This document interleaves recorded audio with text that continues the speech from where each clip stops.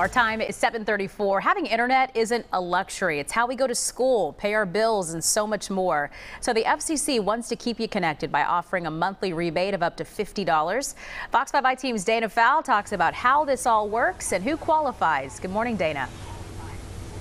Good morning. And you know, we've been talking about this on Good Day Atlanta. I think we announced this a week or two ago, but now we have more details. So let's listen in. First, let me tell you what the emergency broadband benefit is. The FCC, as you said, will provide a $50 rebate. This is monthly, and it's to qualifying households. Eligible households can also get a one time $100 discount when you purchase a computer or a tablet.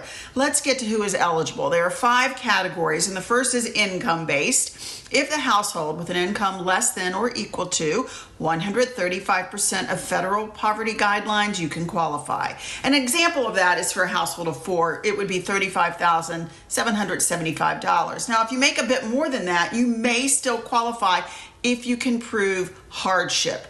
You can also qualify if you were approved to receive benefits under the current award year for um, some other. Um, low income benefits. Also, if you've received a federal Pell Grant in the current year, you qualify.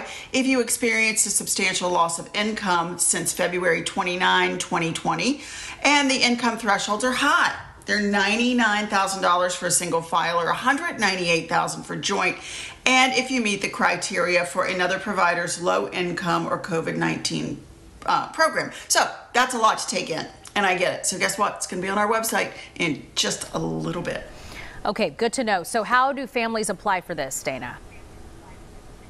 Yeah, I mean, that's a really good point. There are a couple ways. First, you just call your internet provider and ask them about it. You can do that, or you can go to this website, getemergencybroadband.org, to apply there online. Finally, there's a third option if you prefer calling, and that's 833 511 0311. That's for a mail in application. Again, this is going to be on our website shortly. Mm -hmm.